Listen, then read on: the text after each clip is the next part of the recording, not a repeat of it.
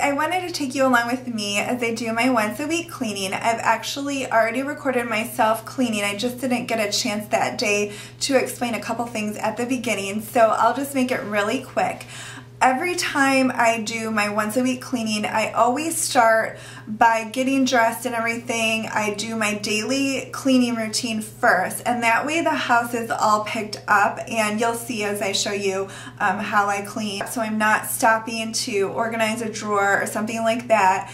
And the way that I like to think of it as um, if a cleaning lady came to your house, she isn't going to be cleaning out your drawer. She's not going to be um, stopping to answer the phone and things like that. She's there and she moves fast and she gets her cleaning done in probably like an hour to an hour and a half. If she has helpers, it might take her less time, but usually we're the only ones cleaning our house, right? So that is kind of my approach. My house is already straightened up and I just um, move fast when I'm cleaning. And you'll see the um, way that I clean, but I started doing this when my kids were little and it takes me so much less time to clean my house this way. The day that I recorded myself cleaning, I um, was working in my at my kids' school for a few hours and I got home and I only had two hours to clean my whole house and record myself, which made it take a little longer. So usually it takes me about an hour and a half so um, I always set that side that time aside and work fast and I can get it done. I do recommend cleaning your house every week even though it might not look really dirty but once you start dusting and things you'll see that your house is actually dirty and if you do it once a week it won't build up and be so overwhelming and that way your house will um, stay nice and clean. So what I always do is start in the same spot, just like I do my daily routine. Start, I just grab my rag and my furniture polish and I spray a little bit on and I just go along this trim right here and dust it because this actually gets really dusty. I go down this side really fast. I don't take a long time to do it. And it's just a week's worth of dust, so it's not super dusty. And I just go and I clean this mirror. I go up the stairs, always do the room in the same order. I'll dust this ledge, dust that really fast, dust this, dust the mirror, the dresser, move over and do the nightstand over there, the nightstand over here. Then I'll do my desk, and then I'll do these shelves and this TV, and then I'm gonna go back down the stairs and do the family room. So dusting my room just took a couple minutes and then I come down and I'm in my front room and I start in the same spot and work my way around the room and back out again and I always do this and it saves so much time. So I'm going to dust this vase here, dust some of the things on the wall and then I'm going to dust the things on this table, this uh, lamp and the shelves here and then I move around the room and dust you know, the things on the wall, the table, the picture frames and shelves here. And then I go into my son Joshua's room over here. So I'm just I'm working my way around the room, moving quickly, and I don't have to drag everything into each room because I just have my dust rag and my furniture polish and I just do it really fast.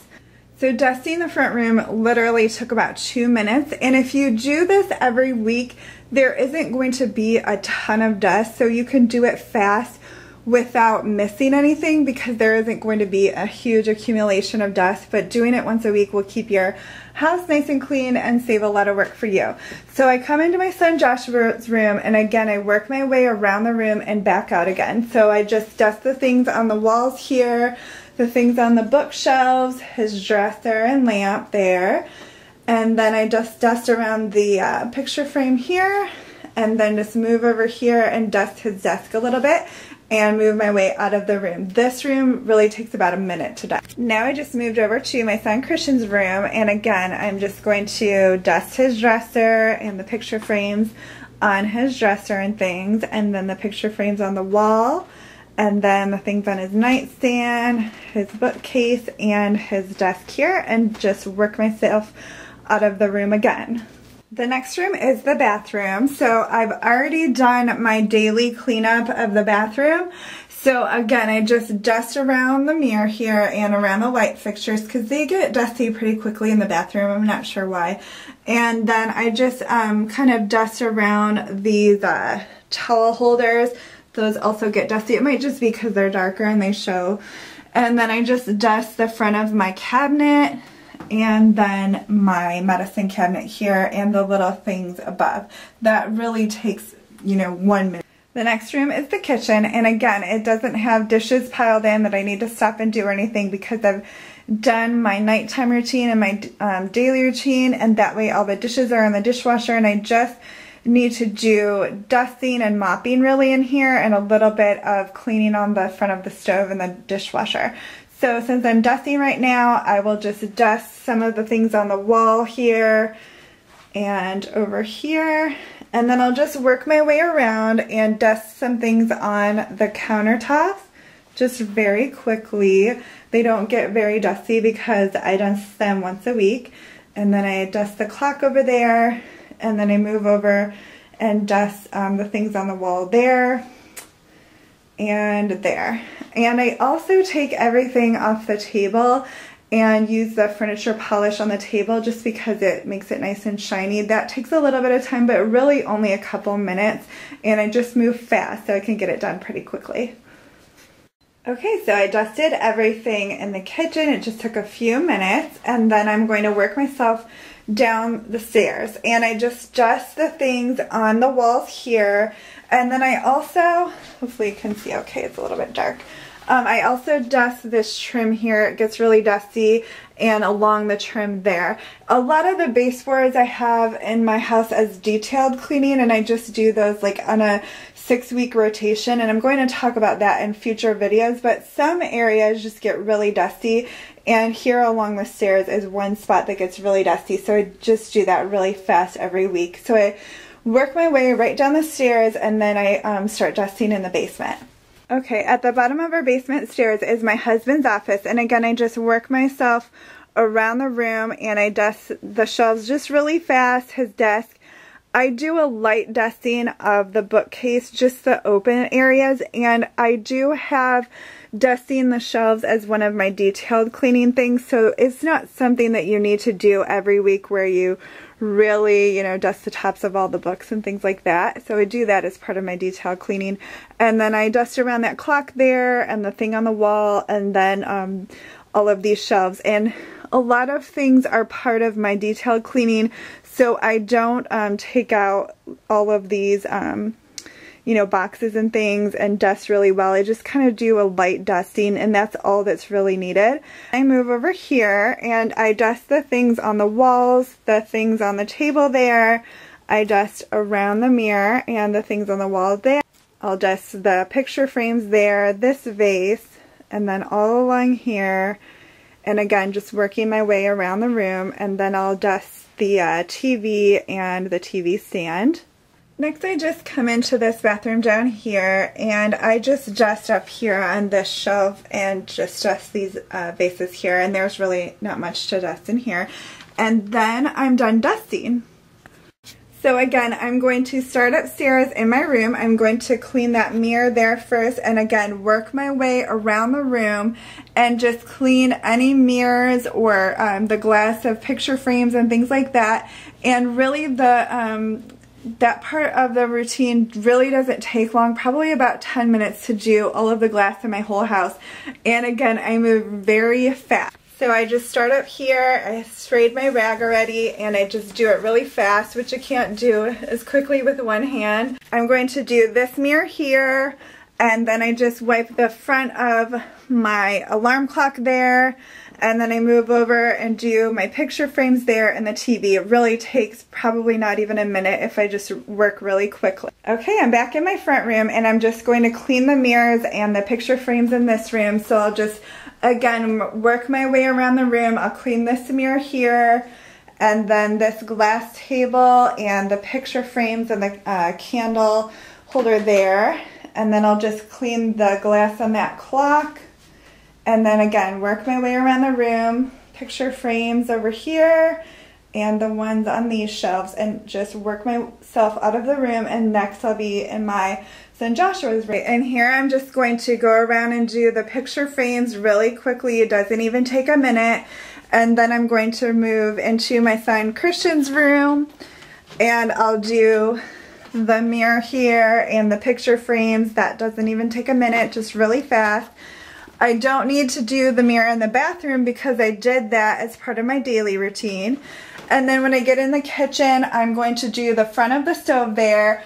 And I usually do this area too with Windex. And then over here, I'll just um, do the little picture frame there. And sometimes I wipe down the backsplash really quickly if there are just um, some watermarks or whatever.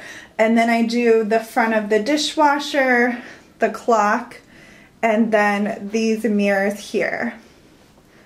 And then I just work myself down the stairs. So I do all of that. It just takes a couple minutes.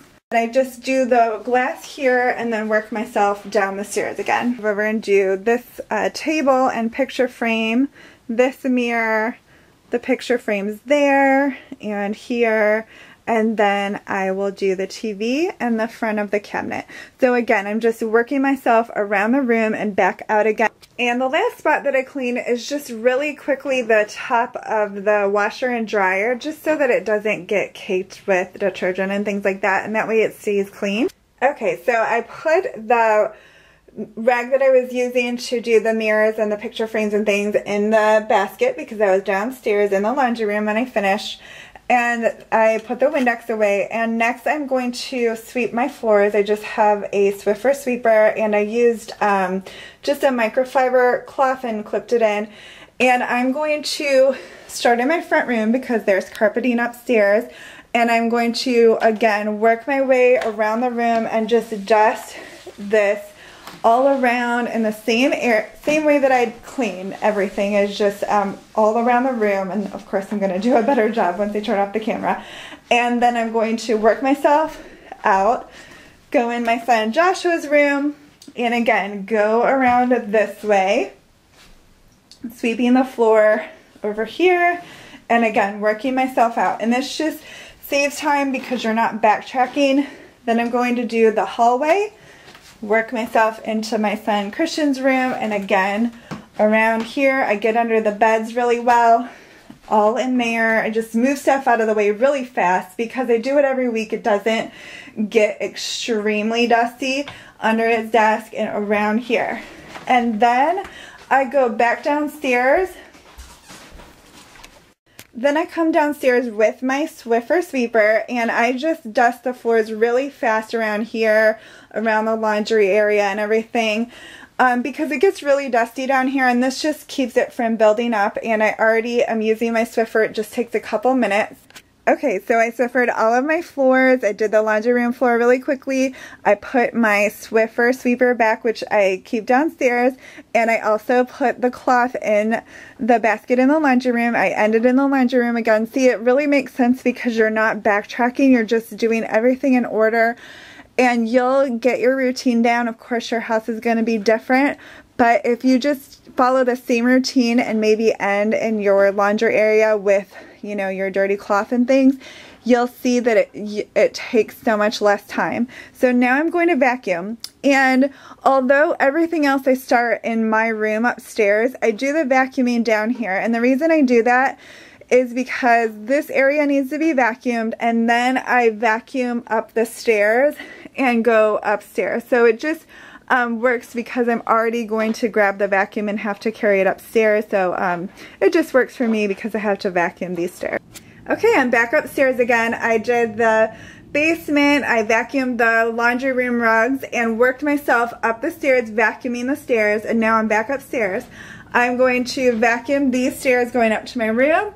Again, work myself around my room and come back down. And I still vacuum my hardwood floors just because Sometimes there are things that the Swiffer doesn't get, so I just uh, vacuum around the floors really fast in all of the rooms in the same way and just work myself out of the room and then take the vacuum cleaner downstairs.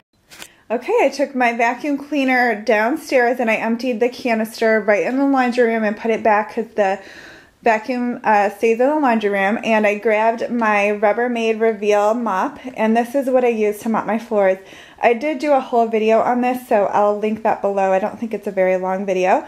But I have one bottle that has Murphy's oil soap and water in it and another one with vinegar and water that I use to wash my tile floors. So I am again in my front room and I'm sure you can guess. I'm going to work my way around this front room, go into my son Joshua's room, the hallway, and my son Christian's room, and wash my wood floors. And again, I just um, follow the same way around the room, working my way out. So my hardwood floors are nice and shiny and clean. And next I'm going to start on the kitchen and bathroom. So I did all of my hardwood floors and then I just switched out the cleaning bottles. So now I have the one that has vinegar and water in it. And I'm going to do my kitchen floor first. Now I clean up my kitchen after dinner if you saw my daily routine. So I wipe down my counters, I sweep the floor. So I don't need to redo that because the kitchen is already pretty clean. I just um, dust in here, uh, you know, Windex the front of the stove and the dishwasher and things like that, and then mop the floor. And that's all I really have to do in the kitchen. So I'm going to mop my floor in here. So I got done washing my kitchen floor and now I'm in the bathroom. And I did already wipe down the sink and the toilet. I cleaned the mirrors and I've swept the floor. So all I do in here on my uh, weekly cleaning day is put some toilet bowl cleaner into the toilet bowl. I spray down the shower and just um, wipe that out really well and wash the floor. So just very simple. It just takes a couple minutes and then I go downstairs and do the same thing in the bathroom down there. The last thing I need to do is clean the bathroom in the basement. And again, I've already done my daily routine. So I've cleaned the mirror, I've cleaned the sink and the toilet. I've just um, wiped those down. And I do use a daily shower spray and it's just vinegar, tea tree oil, and water. And I've shared that in my vinegar uses video and that's also what I use to um, wipe down the sink and everything and it works really well. Vinegar is a great cleaner so I'll link that video below and then the tea tree oil just disinfects everything. So I've been using that in the shower lately and trying to remember to spray it every day and it really keeps the soap scum down and just keeps it nice and shiny. So when I clean the shower, I just spray it again with that and this time I just scrub it I usually use a magic eraser because I think that works really well, but sometimes I use just a nail brush, um, just, you know, the brush that you would use to scrub your nails, and I get in between the tiles, just any areas that might be a little extra dirty. And then I'm going to use the same um, mop and cleaner, the vinegar and water, and just mop the floor really quickly, and then I'll be done. I hope that was helpful for you guys. If you have any questions at all, feel free to comment below. I did want to leave you with a couple tips that I um, when my kids were little. I know it's hard to clean a house, especially when you're moving all around and you might have a baby or a toddler. Um, what I did, I cleaned while my kids were sleeping and then I just vacuumed while they were awake. And that way I could get it done. And because it only takes like an hour to an hour and a half, um, I felt like I was I was okay to start at like 8 o'clock when they were in bed and it wasn't a problem. You could use one of their nap times to clean. Maybe you could have your husband um, entertain your kids while you're cleaning, like take them, you know, in a playroom or in their bedroom while you're cleaning the rest of the house. Um, that's another thing. But um, yeah, those are just some tips that you can try. Another thing that you could try, and I've done this in the past, um, you could break it up to say you do your dusting on Monday, so you take like 15 20 minutes to dust your house, and then on Tuesday you would do, you know, the Windex or glass cleaner on all the glass surfaces, and then um, Wednesday would be your floors, and then um, Thursday you could do like your bathrooms and your kitchen or something like that. Just break it up where you're just spending like 15 to 20 minutes um, five days a week and we can all fit it in somewhere even if we're really busy. So those are just some tips and I hope this video was helpful. Thank you so much for watching.